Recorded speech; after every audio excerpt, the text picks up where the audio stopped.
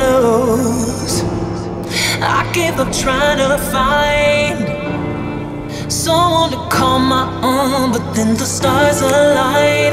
They put us together, and it feels so right. It couldn't be better, and I won't ever let you go.